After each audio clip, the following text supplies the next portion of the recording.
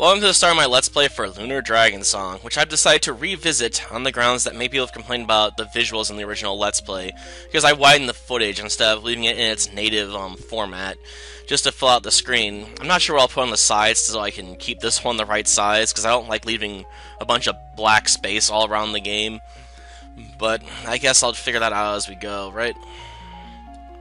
Yeah.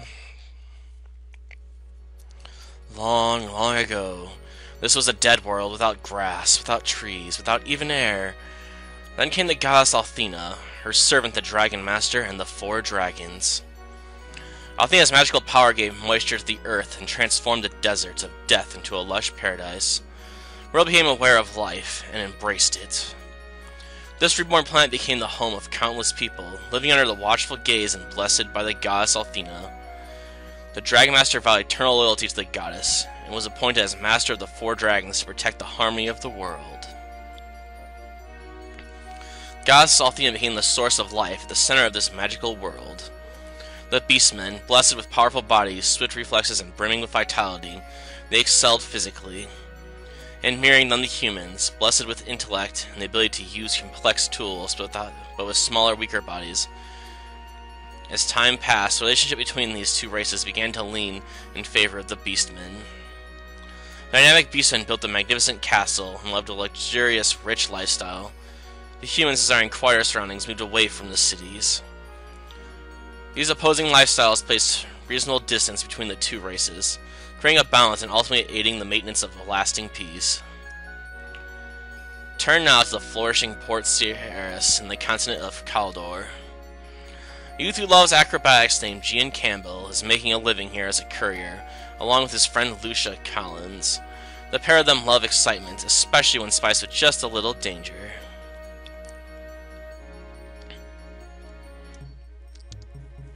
It's morning. Good night's sleep. Anyway, huh, Lucia's already left, has she? My name is Jian Campbell. I've worked for Gad's Express as a courier for a while now, and recently I teamed up with this girl named Lucia Collins. We both love excitement and adventure. Working as couriers can sometimes land us in risky situations, but that's all part of the fun. I love acrobatics and standing on my head, and I do have quite a soft spot for Lucia. Maybe. Right then, I'd better go looking for Lucia. She's always angry when I oversleep. And running in this game does hurt you, but we can heal in the town center, so I'm not too worried about losing a few hit points.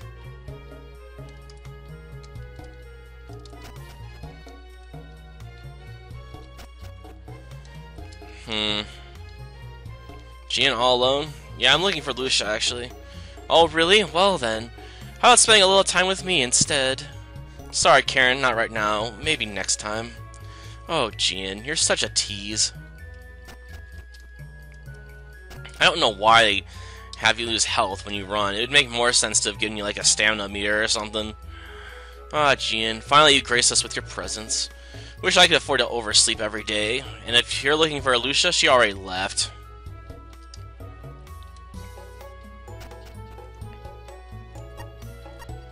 Try the fountain square.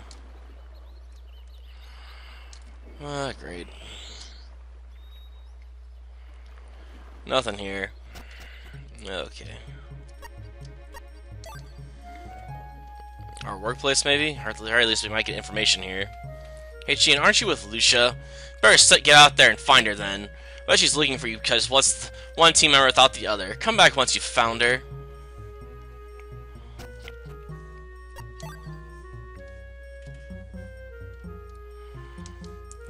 Oh, just find a shop for a while. Don't worry, I'm allowed to sell stuff. Sad part is they don't sell anything that restores your MP here. You can get HP heals, but not MP heals anywhere in this game. At least that's stored. You can find a few in treasure chests, but they don't drop from enemies.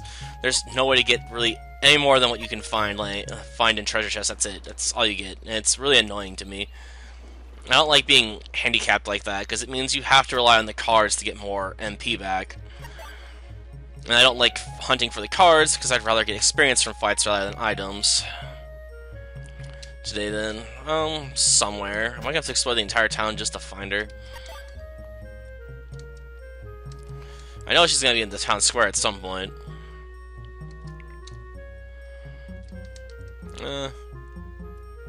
Oh, here we go.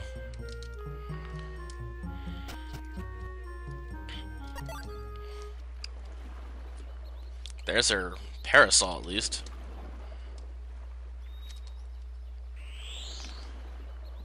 Have to start walking around here pretty soon. Hey, this is Lucia's parasol. What's it doing here? But she left this behind. I guess she can't have gone far. I'll just wait here then. Come on. Why is he standing on his head? Oh, Jian, honestly, will you ever be able to wake up at a reasonable time? Sorry. Told you yesterday, didn't I? We have to take this package to Perit Village Day, remember? Of course I remember. No need to get so worked up about it. Your cute face will get all wrinkled if you don't watch out. Jian, comments only work for 30 minutes waiting. I've been here for three hours. If we don't get going soon, we won't make it back before sunset. Oh, of course. You don't like being outside at night, do you? I think that's perfectly reasonable. Anyway, forget that for now. We'd better get over to Gad's Express and pick up that package. We must not delay any this delivery any longer. Just calm down, Lucia. Take a deep breath. Seriously, you really don't do worry too much.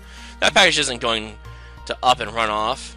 Enough talk already, especially if you have nothing nice to say. Come on, let's go. I'm surprised she didn't just smack him in the face with the um, parasol right there. Like, just bam. Um, well, let's go over to Gad's Express and pick this package up slowly. Um, sad part is I can only get one job this one. Which sucks. Thankfully, we weren't ever forced to do any jobs here ever again after this. But there is a fast way of making money through those, but not until about halfway through the game, if not a bit further.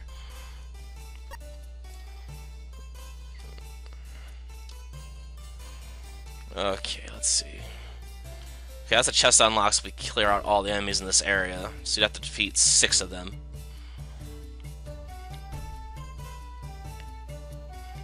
Problem is, I don't know where these six enemies are at. Well, I'll take the healing gum because it's free. Guess they're waiting for me across the bridge.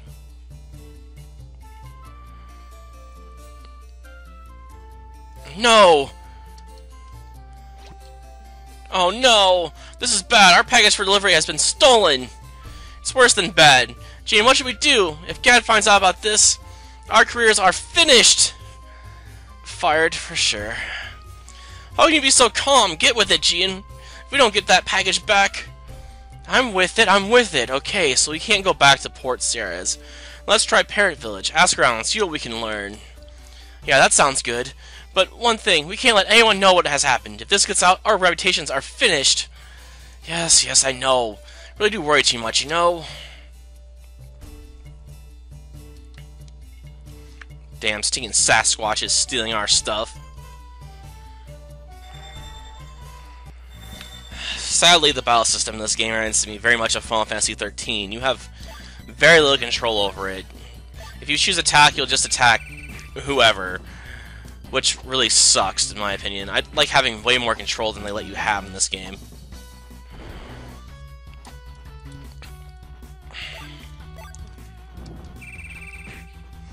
And the wrong way you have to like make noise in the mic, which equally sucks in my opinion.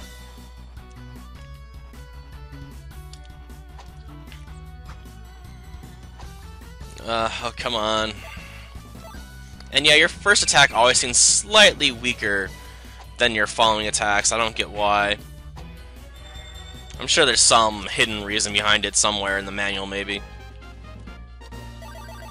And yeah, you start out without being able to um, gain experience turned on. You'll get items instead, so that's why I had to activate the thing where it's now glowing on the screen beneath the picture of Jian. And if you don't find an enemy with time that clock runs around, another enemy will reappear on the field. So you can abuse it, I suppose, and make enemies constantly keep reappearing in one area. But if you leave out um, the field and go to like a village or something, they'll reappear in full anyway. So it doesn't really make that much of a difference if you want to do that or not, in my opinion.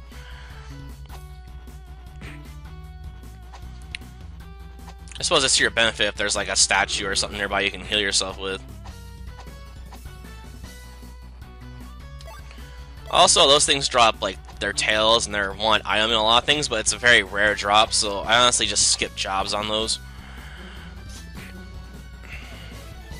I don't think any of these drop cards I'd really care about either.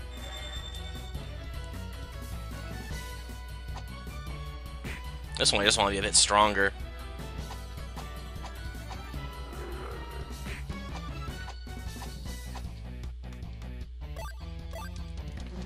Well, at least we got a decent combat theme here, I guess.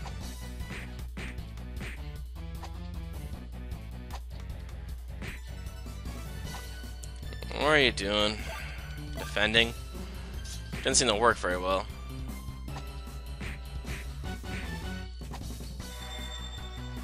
Well, you're out. Just gonna do a little fly. And yes, Jian's your main damage dealer. And then when you get to a point of the game where he can't do his acrobatics and land three blows, it really sucks. Because he does so much more damage than any of the other characters. By like a large margin.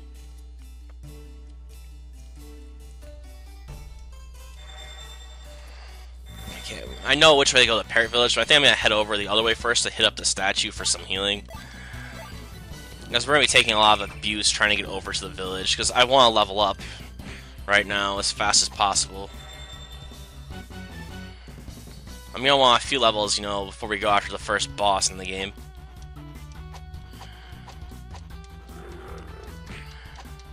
Which means this trip's going to be a bit more, um, battle heavy than I might like otherwise.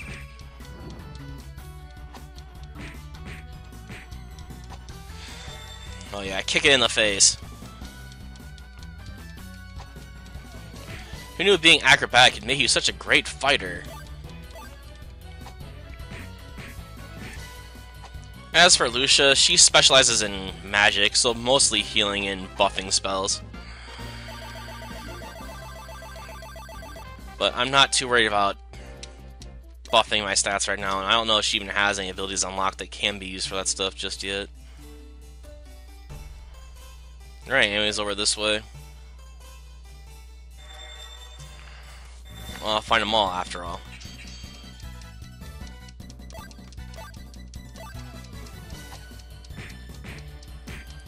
Jeez.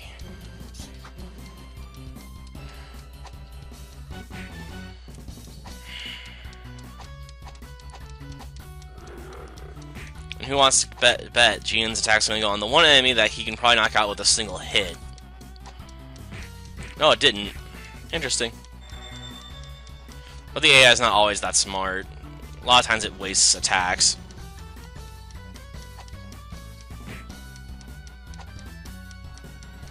Why's that thing being so defensive? See what I mean?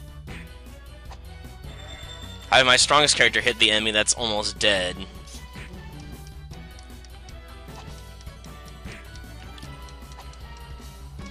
And most healing abilities and stuff in this game cost a ridiculous amount of MP, considering how little you always have of it.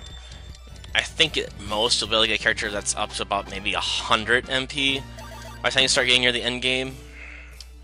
It's been a while though, so I might be a bit off, but yeah, you'll never have a ton of MP on Jian or any of the characters that are meant to be like your mages.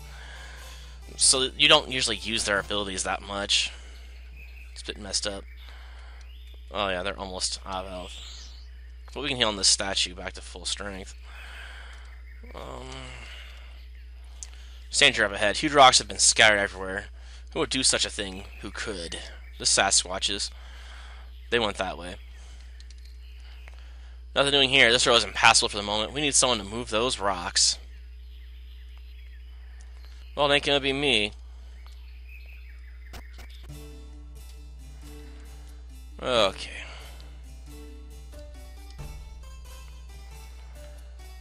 Um. Oh, there you are. Enemy's actually running away from me? Oh, sweet. I didn't even read what was in the chest, but I'm guessing it would be useful, maybe.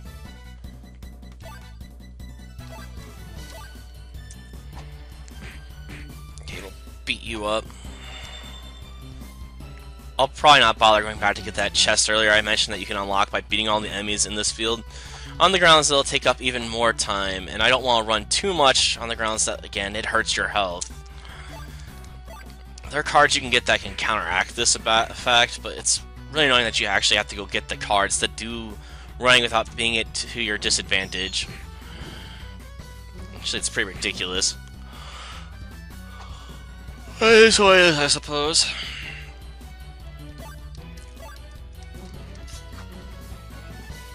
Oh, jeez. Just got my way, Beelzebub. Ah. Uh, a little birdie. Which, every time I think about makes me think of Raditz, you know, when he's threatening Piccolo. Watch the birdie. I can't believe I still remember that far back in Dragon Ball Z. I guess that shows how iconic Raditz was as an opponent, even if he didn't last very long. Where's my last opponent in here? Come on, I want him. Plus, if you clear out an area, you get some healing. Not a ton, but some. It's back over this way.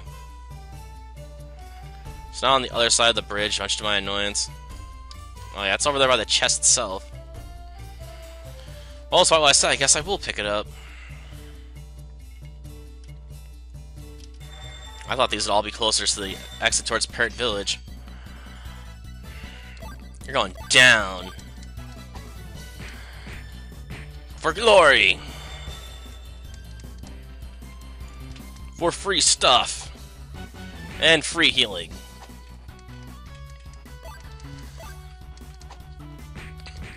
Will I get to jump on them or something?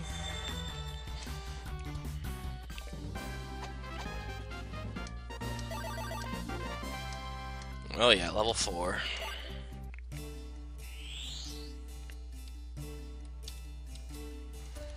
And this is going to be our entire party for a while. Um, those might be better than our current equipment.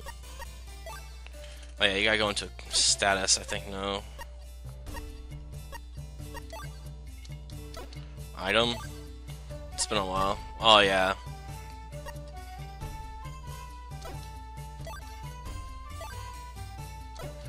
Attack up by 10, eh? Well, I guess those clogs were useful. And awfully I didn't have to run and lose most of my health that I just got back. Making the net gain of health about zero. Yay.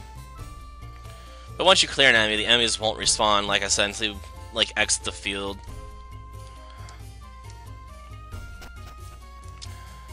Uh...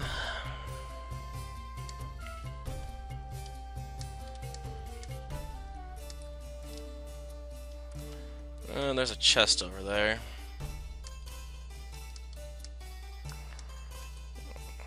Must be some errant way to get over there at some point.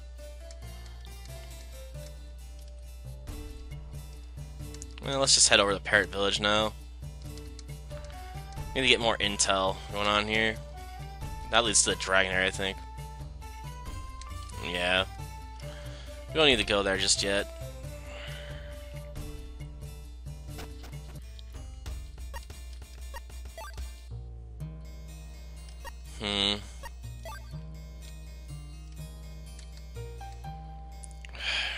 There's no work for you at the moment. Item shop. Um, ready for anything? I love how you guys just saw all the same stuff the other one does. But you can't make any money from fights unless you're getting items and you can sell or do um, get express jobs, which really sucks. Um, nothing here.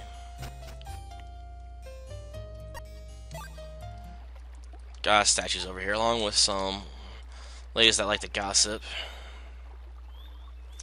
There's been trouble in Thieves' Woods of late. Seems like there's actually a thief in there. Why else would he call it Thieves' Woods? Seriously. Say something, dearie? About the giant in Thieves' Woods?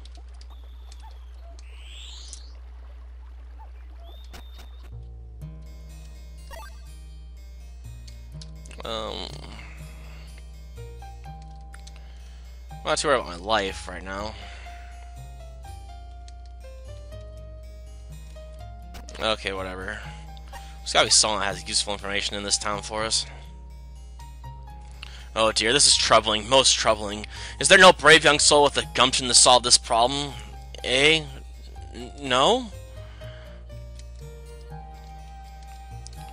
What about you? Now it isn't even safe to go shopping. Okay, anyone upstairs got anything? I know the culprit, of course. This is the work of that Sasquatch. Sasquatch? Oh yes, a fearsome monster currently making Deldrick Temple its home. Deldrick Temple? That's right. Once a place of worship with the four dragons. Four dragons? You don't know much, do you? Cool white in the north, deep blue for the south, flame red in the east, and the night black for the west. I see. As the temple is hardly used nowadays, the Sasquatch had taken it for its nest. And that's the one causing all the recent trouble. The very same. And it's causing me no lack of sleepless nights. In fact, well, but no, I could never ask such a thing. Oh, you can't just say that and then stop. Please go on. Don't leave us hanging like this. Ah, maybe. No, no, I could never. Very well, then. We shall defeat this monster for you. But that was exactly what I was going to... However, did you know? It's obviously going to happen. I was just speeding the process up a bit. Ah, well, very well then. Hunter and Mitch should have moved the rocks in the Thieves' Woods by now. The way to Deldrick Temple should be open. Then we'll head straight over there. Just a final word of warning. Please take due care in this matter. Those rocks are placed there by the Sasquatch, so he's obviously extremely strong. I want to see you come back alive. Understood? Understood. And I send my hopes with you. And next time, I guess we'll make our way towards Deldrick Temple and begin the process of trying to clear it out. Until then, see ya.